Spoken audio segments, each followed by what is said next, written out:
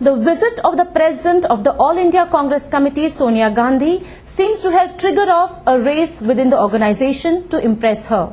Aspirants for the party's election ticket appear to strive to garner crowds.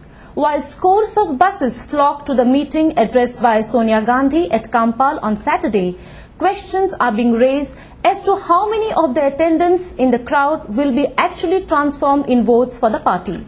Panjim streets were sprawling with buses brought in from neighboring states, even as Congress president was here to prop up the party image before the assembly elections. Even more striking is the fact that many of the buses belong to the Maharashtra State Transport Corporation. Notable presence of buses from neighboring states' transport corporations has raised questions about how government buses were brought in to ferry people for a political party's meeting and who paid the expenses for such transportation.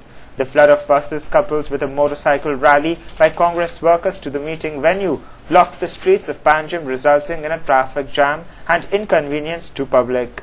Reports state that the crowd was gathered by aspiring candidates for the coming assembly elections.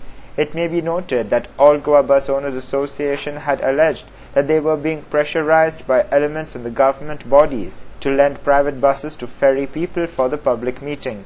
The manipulation of crowds for the meeting has underlined the fact that some politicians will set no limit to stoop to conquer.